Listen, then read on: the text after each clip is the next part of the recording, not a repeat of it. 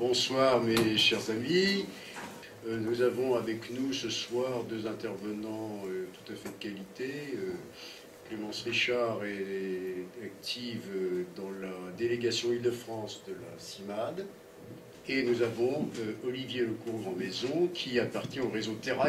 Terra est un réseau scientifique et militant. Scientifique parce qu'il réunit un nombre très important maintenant d'universitaires et de chercheurs, à la fois français et étrangers, qui travaillent euh, sur la question euh, des migrations, au sens euh, très général du terme, qui diffusent donc très régulièrement des informations à la fois bibliographiques, filmographiques éventuellement. En un mot commençant, je dirais, nous avons de plus en plus affaire à un fatras administrativo-policier, juridique en matière d'immigration. Euh, dont, il ressort un seul paramètre euh, au niveau gouvernemental qui est qui s'appelle les quotas. Il en faut tant par an. Ce qui nous paraît également significatif, euh, c'est le fait que l'immigration soit rattachée au ministère de l'Intérieur. ce qui sous-tend ce rattachement, le fondement idéologique de ce rattachement, c'est évidemment l'idée implicite ou explicite le plus souvent que l'immigration est évidemment d'abord et avant tout une question de police, que l'immigration est d'abord et avant tout une question d'ordre public, et que fondamentalement, euh, la raison de cela, c'est que fondamentalement, l'immigration est un danger multiple, ou est supposé être un danger multiple pour l'identité nationale, pour les comptes de la nation, euh, pour l'ordre public, la sécurité des biens et des personnes, et c'est évidemment ça qui euh, justifie le rattachement de la question migratoire, ou des questions de la question de l'immigration euh, au euh, ministère euh, de l'Intérieur. Et de ce point de vue-là, cela ne fait qu'entretenir sans fin le préjugé selon lequel, effectivement, l'immigration est une source de mots divers, variés, contre lesquels il faut mobiliser largement l'appareil d'État, le ministère ad hoc. Mais comme chacun le sait ici, ce n'est pas simplement un ministère ad hoc, c'est toute la chaîne administrative, euh, hiérarchique, policière, gendarmesque, qui est mobilisée effectivement pour appliquer ce que nous appelons une véritable politique publique. Euh, ça a été dit en introduction, cette politique publique, euh, relativement aux droits des étrangers, c'est sans doute l'un des secteurs avec la question de la sécurité où effectivement le gouvernement est pris par une sorte de plurite législatif et réglementaire incessant, avec une technique qui est désormais bien rodée, à chaque fait divers, une proposition de loi. Alors ça vaut pour la sécurité et ça vaut évidemment pour la question des migrations, puisqu'on sait que le projet de loi Besson-Hortefeux a euh, pour origine un fait divers, l'arrivée sur des côtes euh, de Corse d'un navire chargé euh, de Syriens, de Kurdes syriens ou de Kurdes supposés arriver de Syrie, euh, qui a pris de court apparemment les services de police et le gouvernement, et ça a été effectivement le prétexte euh, au dépôt de euh, ce projet de loi, auquel s'ajoute une directive votée par le Parlement européen à une date qui ici rappellera d'autres événements plus glorieux, mais là en l'occurrence le Parlement européen offre une image particulièrement peu sympathique de l'Europe, puisque cette directive dite de la honte a été votée le 18 juin 2008. Et euh, dans cette directive de la honte était prévue d'une part l'augmentation de la durée de la rétention euh, au niveau de l'ensemble des États européens, et euh, par ailleurs, ce qui est désormais introduit dans la loi Besson-Hortefeux, je ne vais pas m'y étendre très longuement parce que les choses seront traitées vraisemblablement plus en détail après, l'introduction de ce qu'il faut bien appeler une double peine en tout cas une sorte de double peine, puisque l'une des caractéristiques de cette double peine, c'est qu'elle n'est pas prononcée par un juge, mais qu'elle est prononcée par euh, un préfet, c'est-à-dire par une autorité administrative. Cette double peine pour la forme suivante, euh, qui va être introduite en droit français par cette euh, disposition, c'est la possibilité, après avoir prononcé l'expulsion d'une personne, de lui interdire le séjour sur le sol français pendant une durée de 5 ans, sachant que la directive dite de la honte prévoit, elle, une interdiction de séjour sur le territoire de l'ensemble des États membres de l'Union européenne. Et euh, pour se soustraire d'une visée ou d'une vision par trop hexagonale ou européenne, rappelez que cette directive de la honte n'a pas simplement été critiquée par les associations de droits de l'homme euh, traditionnelles en France. La seconde caractéristique euh, ou conséquence de l'arrivée à la présidence de la République de Nicolas Sarkozy, c'est ce qu'il faut bien appeler la mise en place, et là aussi c'est sans précédent dans l'histoire de la France, ce qu'il faut bien appeler un véritable plan quinquennal d'expulsion. Euh, la data qui était chargée autrefois de, préparer des plans d'incitation économique et qui ont aujourd'hui totalement disparu, il n'y a plus de politique de, plan en France, incitative. Il y a un seul domaine dans lequel subsiste un plan et qui, lui, n'est pas incitatif mais prescriptif, c'est le domaine des expulsions. Et où, effectivement, chaque année, le titulaire de la charge, Hortefeux avant, Éric Besson aujourd'hui, Hortefeux aujourd'hui encore, reçoivent une lettre de mission euh, libellée par euh, euh, le président de la République et son collaborateur à Matignon, comme il l'avait dit élégamment, dans, laquelle, pardon, lettre de mission, est fixé un quota d'expulsion par an. Je vous fais grâce des chiffres, c'est environ entre 19 et 19 et 20 000 expulsions par an. Il faut savoir quand même que pour expulser et arriver à expulser entre 19 et 20 000 personnes par an, il faut en arrêter au moins trois fois plus. Ce qui veut dire que chaque année, il y a environ entre 90 000 et 100 000 personnes qui sont arrêtées en France, euh, contrôlées par les services euh, de police. Ce dont témoigne euh, tout cela, c'est, le, film qui a été montré là est exemplaire, c'est relativement au droit des étrangers, un droit qui doit être pensé comme, fondamentalement comme étant un droit d'exception, ou plus exactement comme un droit qui banalise, légalise l'exception. On pourrait dire encore autrement, le droit des étrangers, c'est l'exception faite règle. Euh, et d'ailleurs, je, ne peux pas ne pas citer euh, une commission, euh, la Commission nationale consultative des droits de l'homme, dont je n'ai pas à vous dire qu'elle est particulièrement composée de gauchistes et chevelés, et qui aurait, par je ne sais quel tour de passe-passe, l'aurait investi, et qui, à propos justement euh, du euh, projet de loi Besson-Hortefeux, faisait deux constats. Un, globalement, tous les points de la loi Besson-Hortefeux sont très sévèrement critiqués par la Commission nationale consultative des droits de l'homme. Je m'en tiens simplement aux deux constats généraux. Euh, un, je cite, la Commission dénonce c'est là commence la citation, la prolifération des textes législatifs relevant davantage de l'opportunité politique que du travail législatif réfléchi. On ne saurait mieux dire. Et la Commission consultative nationale des droits de l'homme, nationale consultative des droits de l'homme, dont le rapport a été rendu public il y a 2-3 euh, jours, et qui est accessible sur Internet, conclut pour l'ensemble de la loi Besson-Hortefeux, et vraisemblablement plus largement conclut ceci, en l'état, c'est une citation, c'est pas moi qui parle, c'est le rapporteur, les rapporteurs, en l'état, les, pardon, les dispositions examinées ne permettent pas le respect effectif des droits de l'homme. C'est clair, c'est cristallin, transparent, euh, c'est également très clair, bien sûr, sur les orientations euh, mises en œuvre de façon compulsive, démagogique, obscène, par euh, ce gouvernement euh, depuis euh, évidemment l'élection de Nicolas Sarkozy à la présidence de la République. Nous sommes effectivement, nous estimons être effectivement confrontés à ce que nous nommons une xénophobie d'État. Je vais, et je finirai là-dessus, simplement pour expliquer les raisons pour lesquelles nous avons recours à ce syntagme. premier élément, si l'on se met d'accord sur ceci que la xénophobie relève ou renvoie à tout discours, comportement, texte, proposition, euh, expression qui fait de l'étranger, quelle que soit sa situation, une menace. Euh, je ne vais pas énumérer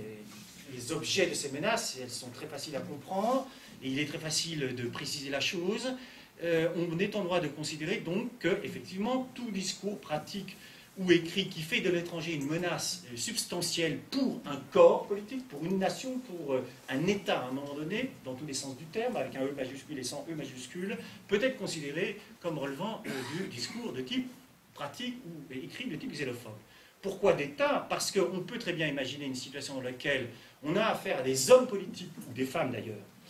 de ce point de vue-là, elles sont à égalité. Je donner des noms, Nadine Morano est un exemple quand même assez remarquable de cela, et de vulgarité par ailleurs.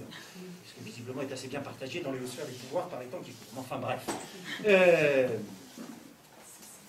donc euh, on pourrait très bien imaginer une situation dans laquelle,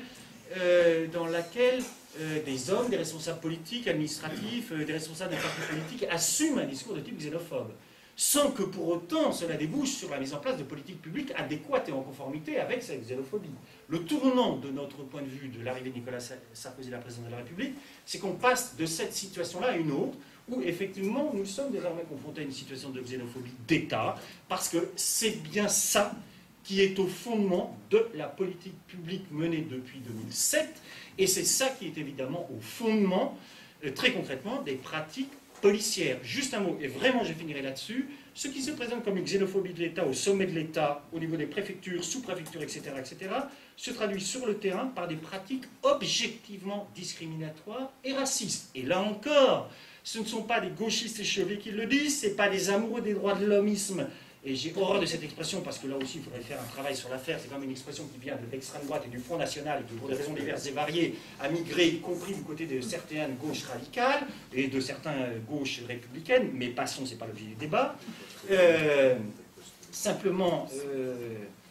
ceci, euh, c'est une enquête qui a été menée par des chercheurs du CNRS, une enquête de terrain à Paris dans la banlieue parisienne, qui a été rendue publique dans le cadre d'un grand quotidien national, qui n'a suscité aucune réaction de la part des pouvoirs publics et d'Éric Besson en particulier, puisqu'il était euh, en charge euh, du ministère à l'époque, et qui démontre de façon très concrète et empiriquement constatable que si à Paris, dans la banlieue parisienne, vous n'avez pas l'heure d'avoir un teint pâle correspondant à ce que la police se représente comme français de souche, c'est-à-dire si vous avez plutôt un type supposé maghrébin, ou si vous êtes franchement noir, vous avez entre 6 et 7 fois plus de chances, entre guillemets, d'être contrôlé et arrêté.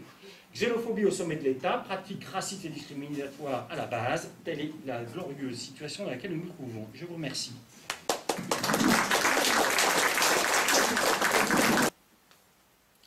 Donc pour revenir au contexte effectivement euh, de, euh, de la rétention, euh, comme je disais, à la base, c'était conçu de manière exceptionnelle, et puis peu à peu, c'est devenu véritablement je pense qu'on peut dire à l'heure actuelle un système punitif, un mode banal de gestion des flux migratoires et qui est devenu euh, même l'instrument phare dans la communication politique du gouvernement euh, par rapport à l'efficacité, euh, en tout cas affichée, de sa politique de sa politique d'immigration. Derrière toute cette politique de communication, de contrôle, de, contrôle de, gestion des, populations, euh, des populations jugées indésirables. Il faut savoir que c'est pas sans impact parce que derrière on a des étrangers, des situations, euh, humaines. Et pour autant, la pression, la pression des quotas en fait, qui est mise à la fois effectivement, on en parlait sur les policiers, aussi euh, sur les préfectures, fait que toute l'administration ne voit derrière les étrangers qu'une, qu'un bâton en fait, qu'un chiffre. Euh, va, euh, qu'on va pouvoir comptabiliser à la fin du mois comme une personne euh, qu'on a expulsée ou pas. En 2009, on a vu aussi quelque chose qui représente, à notre sens, une, je pense au sens de tout le monde ici, une très grande dérive. C'est des circulaires favorisant la dénonciation. Donc on l'a vu au niveau du pôle emploi, puisque le Pôle emploi, en fait, euh, il y a eu une circulaire qui demandait à ces agents de vérifier euh, l'authenticité des papiers d'identité que les travailleurs euh, les travailleurs avaient. En 2009, on a vu également pas mal d'interpellations, d'interpellations dans les banques, d'interpellations donc pour des clients hein, qui étaient clients depuis plusieurs années. Hein. Euh, on a vu des interpellations dans les grandes surfaces, tout simplement avec des personnes qui ont des cartes de crédit. Euh, et à cette occasion, euh, l'agent de sécurité appelle la police constatant un défaut dans, la carte, dans la carte de séjour présentée ou l'absence de carte de séjour. Cette politique conduit également à de véritables absurdités et là, euh, je citerai l'exemple de ce qui se passe au niveau du centre de rétention euh, de Perpignan, où en fait, euh, tous les jours, des Marocains qui sont en train de retourner chez eux avec bagages, avec titre de transport de l'Espagne au Maroc, et qui se font arrêter à la frontière franco-espagnole. et expulsés dans les 48 heures. Et du coup, la, préfecture, la préfecture de Perpignan a un chiffre extrêmement élevé de reconduite à la frontière hein, de gens qui repartent dans leur pays. Les choses vont malheureusement pas aller mieux avec la loi qui est à l'heure actuelle en cours d'examen entre l'Assemblée et le Sénat. C'est effectivement la cinquième loi en sept ans, donc qui vient durcir toujours plus et qui vient criminaliser toujours davantage euh, les étrangers. Elle a été présentée comme une euh, obligation de transposition de cette directive, euh, de cette directive de la honte. Sans rentrer dans des détails techniques, j'avais quand même envie de vous dire qu'il faut savoir qu'une directive, rien n'oblige à la transposer au niveau national si euh, les dispositions nationales ne sont pas en contrariété avec la directive. Si on peut, enfin, et il y avait peut-être des choses hein, à transposer euh, au niveau de la, législation, euh, de la législation française, mais ça a été surtout un bon alibi euh, pour le gouvernement pour venir encore plus accroître la répression à l'égard des migrants, toujours plus restreindre le respect de leurs droits en en faisant véritablement une sous-catégorie d'individus juridiques. Euh, à travers ce nouveau projet de loi, euh, on a affaire à deux orientations malheureusement assez claires. Premièrement, une mise au banc des étrangers et deuxièmement, l'instauration euh, d'un véritable régime juridique d'exception. la conséquence concrète qu'on risque d'avoir au niveau des permanences et des accompagnants des personnes, des personnes migrantes, c'est des personnes qui voudront plus euh, déposés euh, de titres de séjour qui seront là dans une clandestinité, dans une précarité encore plus grande. Et pour ceux qui auront été expulsés, euh, bah, c'est d'alimenter tous les réseaux de passeurs qui se font de l'argent sur, le dos, des migrants. Au nom du comité de soutien aux sans-papiers du 92, parce que justement, c'est ce que je voulais dire, vous êtes souvent venus euh, à ce débat en ayant déjà une première opinion de ce qui se passe en France, euh, des lois sur l'immigration, des pratiques qui se font actuellement. Euh, j'imagine que vous êtes conforté dans cette opinion à la suite de ce débat, j'espère en tout cas. Mais j'imagine aussi que vous vous demandez souvent, mais qu'est-ce qu'on peut faire? Je voulais dire, c'est justement au comité de soutien aux sans-papiers, avec d'autres associations, nous rencontrons des sans-papiers. Et ce que je veux dire, c'est que ce ne sont pas des clandestins, ce sont des personnes, des familles, euh, des pères de famille, euh, qui sont nos voisins en réalité. Euh, ce sont les, parents des petits copains des, enfants de l'école, ce sont les mamans qui sont à 4h30 à la sortie de l'école, ce sont les nounous qui vont chercher les, enfants des mamans qui travaillent. Ce sont aussi les jeunes filles qui accompagnent les personnes âgées que vous voyez au marché de Sèvres, qui les aident à faire leurs courses. Ce sont les pères de famille qui vont tous les matins au travail, et ce sont aussi malheureusement des pères de famille qui ne rentrent pas chez eux le soir, parce qu'ils ont été arrêtés, parce qu'ils ont été raflés. ensuite, euh, il faut réagir très vite avec euh, toute une mobilisation, euh, des pétitions qui circulent. on arrive même à des pétitions jusqu'à 450 signatures du jour au lendemain. Et finalement, ce que je voulais montrer, c'est que ces actions, elles marchent, puisque ces deux pères de famille, c'est un, un exemple qui est arrivé à Chaville, à Sèvres, donc à presque deux mois d'intervalle, de pères de famille avec euh, deux enfants scolarisés, euh, vivant depuis des années ici, qu'on connaît, qu'on n'imagine pas être dans cette situation, et qui vivent pourtant avec cette peur, et un jour, on se rend compte qu'ils ont eu raison d'avoir peur parce qu'ils se sont fait arrêter. Et puis finalement, toute cette mobilisation a fait que ces pères de famille ont été libérés. Euh, l'un du commissariat, l'autre d'un centre de rétention. Alors ça, c'est quand même le plus beau cadeau qu'on puisse nous faire, c'est de, de revenir quand même des, ces personnes-là nous montrer leur récépissé